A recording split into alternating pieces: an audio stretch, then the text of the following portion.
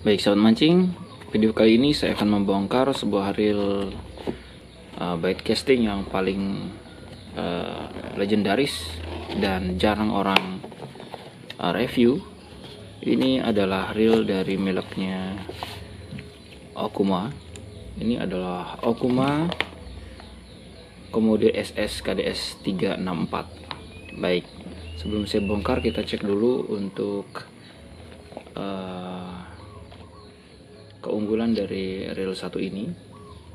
Jadi ada 6 HPB uh, ini stainless steel bearing ya. Kemudian stainless steel main gear wah ini dia. Kemudian ultimate dan strength precision machine stainless steel pinion gear. Kemudian dan ini banyak juga keunggulannya yang lain. Nah kemudian akan lihat untuk spesifikasinya ini yang ya ini dia. Nambal bearing satu roller bearing hasilnya 6.4 banding 1 lalu kemudian untuk kapasitinya 033 255 jadi ini adalah reel yang mempunyai spool yang cukup dalam dan mempunyai daya tampung yang sangat uh, banyak untuk senar yang bisa ditampung ya. Oke kita lihat dari segi nah ini masih original untuk handlenya. Ini yang saya pegang adalah handle kanan. Oke kemudian dia mempunyai body yang metal. Kita akan bongkar satu persatu. Yang pertama kita akan coba bongkar uh, bagian side plate nya bagian ini dan bagian spoolnya. Jadi Okuma menerapkan kuncian seperti ini pada spoolnya.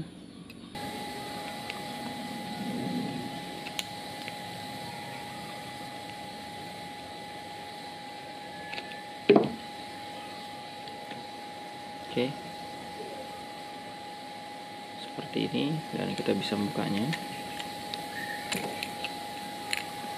Dan reel ini mempunyai uh, side plate atau tutup seperti ini. Kemudian kita akan coba cek bagian dari side plate nya ini.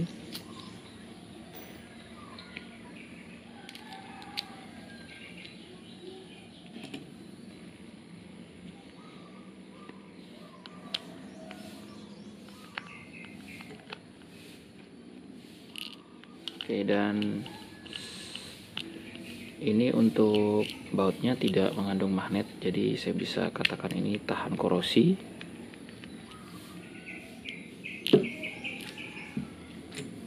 Oke untuk set plate nya seperti ini. Yap simple sederhana seperti ini saja.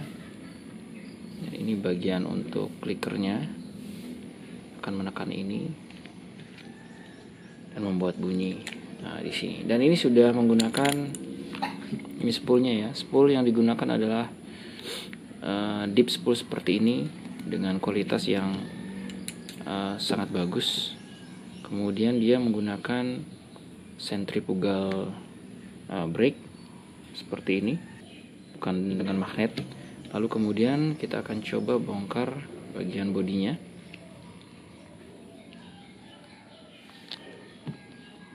Oke, handle masih menggunakan double knob seperti ini untuk handle aslinya atau handle bawaannya.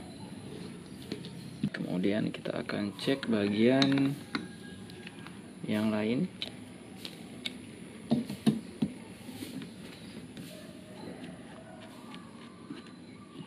Ini handlenya. Double knob handle seperti ini. Oke. kemudian menggunakan uh, star drag seperti ini seperti hanya real bait casing pada umumnya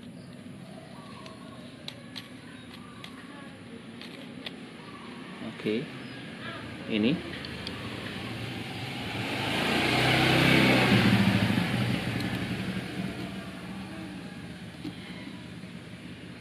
dan mempunyai uh, bagian penahan drag menggunakan banyak uh, washer seperti ini. Lalu kemudian kita akan coba bongkar. Untuk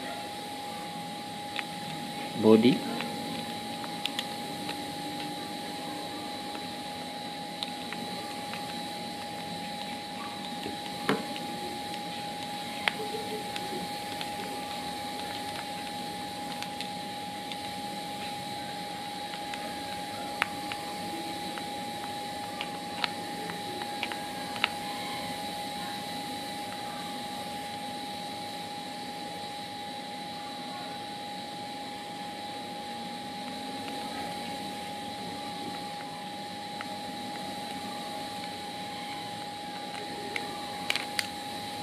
dan baut-baut yang ada di sini sudah menggunakan baut stainless steel. Dan dijamin uh, tahan akan korosi.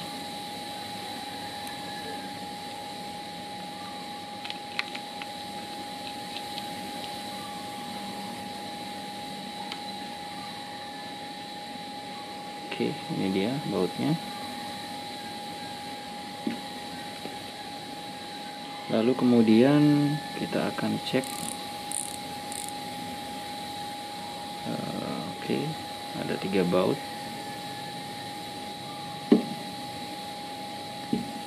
ada empat bagian baut penahan bagian luarnya cuma satu oke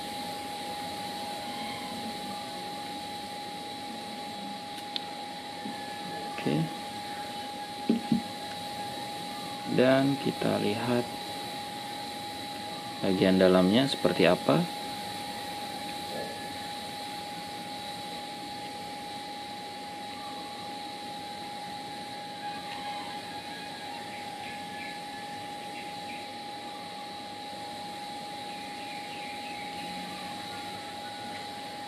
Nah, ini dia sobat mancing. Bagian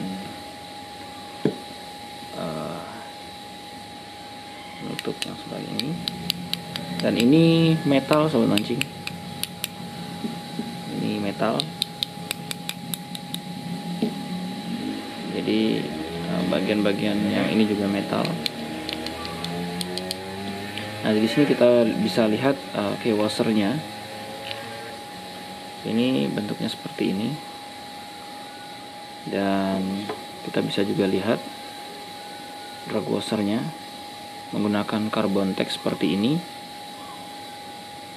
Oke. Lalu kemudian ada bagian main gear. Oke. Seperti ini. Yap dan ini bukan merupakan bahan kuningan dan menggunakan bahan stainless steel ya. Oke ada carbon tech 2 ini kayak washernya uh, washer kayak washer dan ada tiga carbon tech yang ada di sini. Oke seperti ini. Satu dua tiga. Dan main gearnya ini menggunakan stainless steel. Jadi bukan merupakan sebuah uh, kuningan dan ini sudah bisa dipastikan sangat kuat. Oke. Okay. oke. Okay. stainless steel seperti ini. Bahannya dan menggunakan tiga carbon tech. Dan kemudian di sini ada bagian pinion. Ini juga menggunakan uh, stainless steel ya. Dan kemudian bahan-bahan yang lain di sini ada beberapa yang menggunakan plastik. Ya.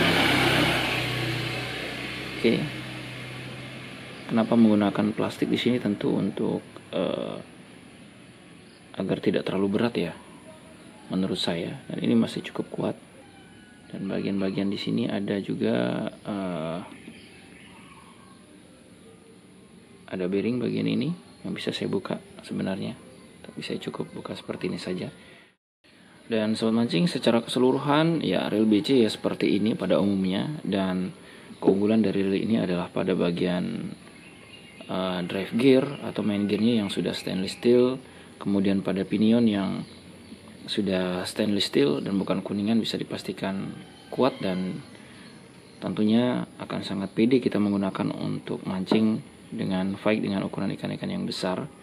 Kemudian menggunakan centrifugal brake yang tentunya sangat uh, efektif ataupun nyaman untuk kita gunakan juga dengan spool yang cukup dalam dengan kapasitas yang bisa kita gunakan uh, lebih banyak untuk senar yang di uh, bisa gulung di sini. Kemudian di sini ada ball bearing ya. Kita hitung ini roller bearing, satu ball bearing, uh, dua ball bearing, semua sudah menggunakan HPB ball bearing 3.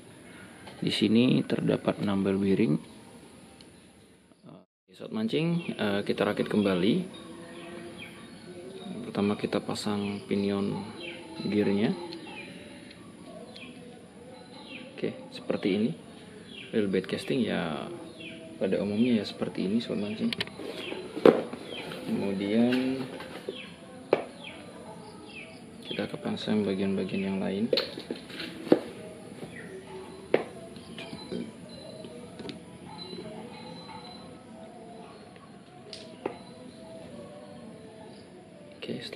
Kita coba kasih grease sedikit. Lalu kemudian kita pasang bagian bawah dari drive gearnya. Oke, ini jangan sampai terbalik memasangnya. Ini kita pasang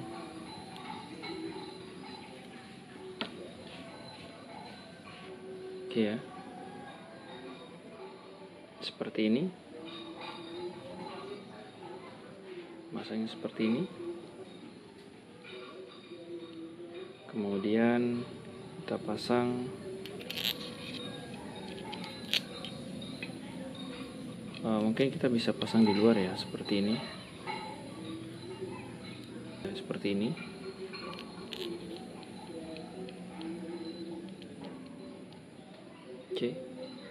jangan sampai terbalik memasang dockingnya ini. Kemudian kita pasang lalu kita pasang drive gearnya.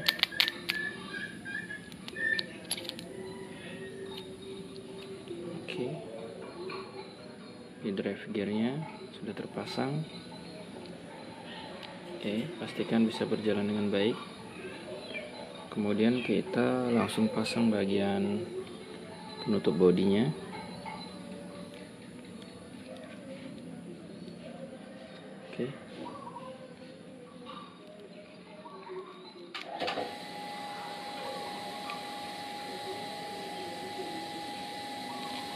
Maksudnya ini juga dipasang harus presisi ya.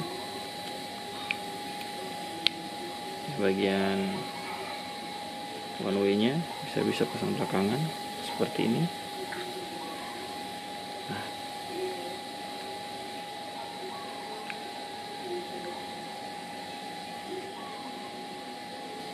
Pastikan dia presisi.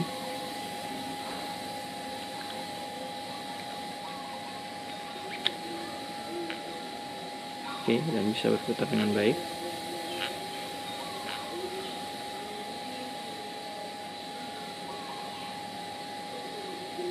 Oke, kita cek sekali lagi karena ini ada pernya yang menahan ya. Semacam ada pegas dan pastikan ini semua presisi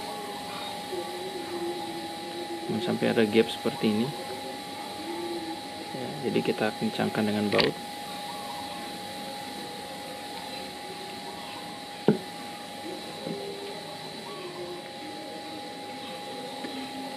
Oke, ada empat baut di sini.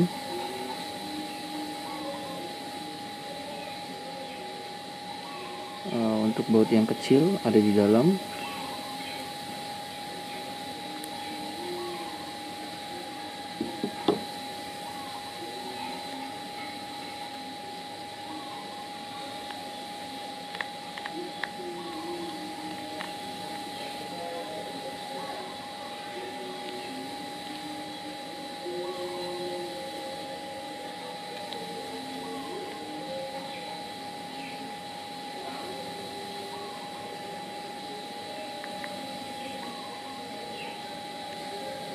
kemudian pasang semua baut-bautnya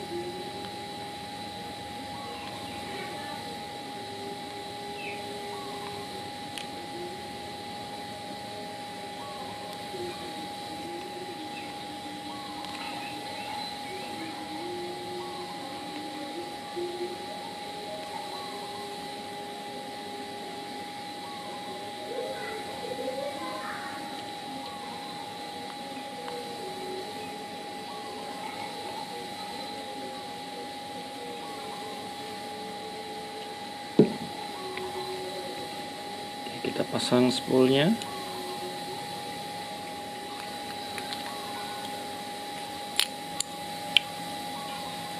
Oke seperti ini.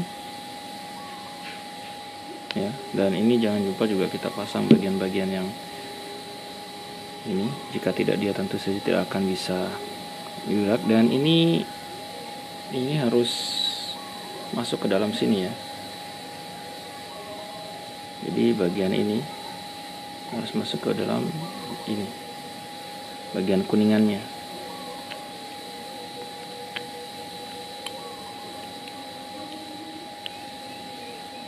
Kita bisa mundurkan dulu atau majukan.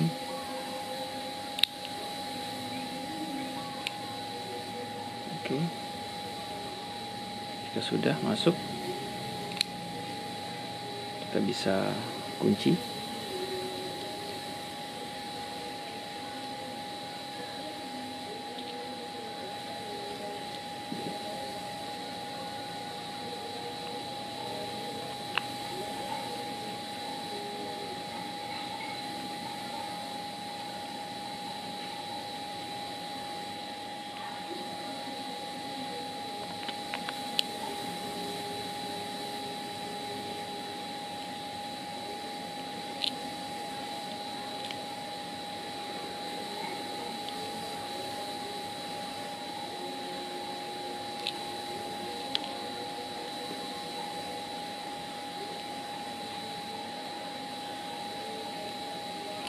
ini karena tidak ada uh, magnetnya cukup susah ya.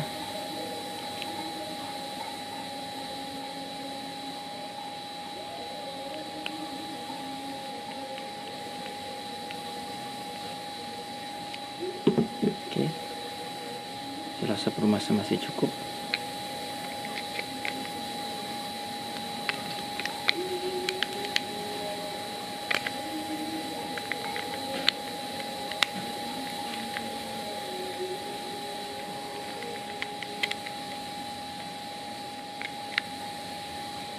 Oke.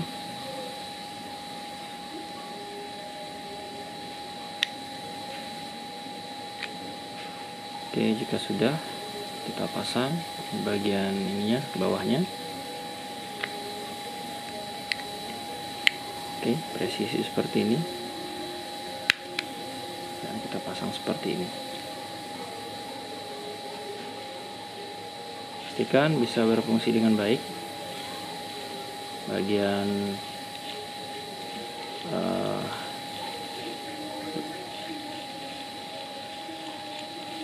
ini bagian line roller juga.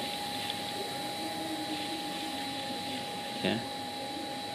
Sudah berfungsi dengan baik. Lalu kita pasang bagian-bagian yang lain. Jika kita ragu ya atau belum pernah membongkar pastikan jangan kita membiarkan ini terurai atau biarkan saja seperti ini kita pasang star drop